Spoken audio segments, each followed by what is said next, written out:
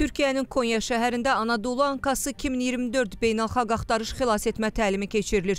İlkin mərhələdə təlim iştirakçılarına brifinq təqdim olunub. Tədbirdə təlimin məqsədi, ssenarisi, keçiriləcəyi ərazi, müxtəlif mərhələlər üzrə icra olunacaq tapşırıqlar və təhlükəsizlik qaydaları barədə ətraflı məlumat verilib.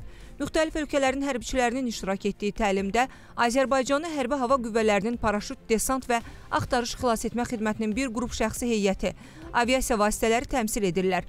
Beynəlxalq təlimlərə Azərbaycan Hərbi Dəniz Qüvvələrinin xüsusi təyinatlıları da qatılıblar. Anadolu Ankası 2024 təlimi mayın 17-sinə qədər davam edəcək.